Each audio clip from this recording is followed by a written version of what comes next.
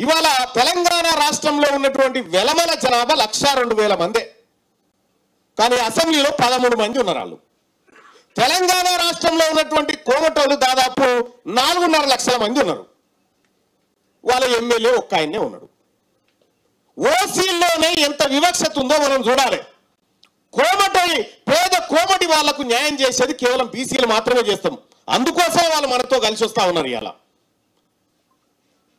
బ్రాహ్మణులకు న్యాయం చేసేది ఓన్లీ బీసీలు మాత్రమే చేస్తారు కాబట్టి కనీసం మమ్మల్ని ఉద్ధరించలేదు ఈ డెబ్బై ఏళ్ళ నుంచి. మీలో ఉన్న పేదవాళ్ళని కూడా మీరు ఉద్ధరించలేదంటే మీ పరిపాలన అంత డొల్ల మీ వల్ల కాదు. డెబ్బై సంవత్సరాల పాటు మీ పరిపాలన చూసినాం సార్. ఇక చాలు. మాది మేమే చేసుకుంటాం మిమ్మల్ని కూడా చూసుకుంటాం. ఇది ప్లాజా నుంచి చెప్పదలుచుకున్నటువంటి అంశం. క్యూ న్యూస్ ఛానల్లో పనిచేయటకు అనుభవం గల సీనియర్ డిజిటల్ మార్కెటింగ్ వారు కావాలను.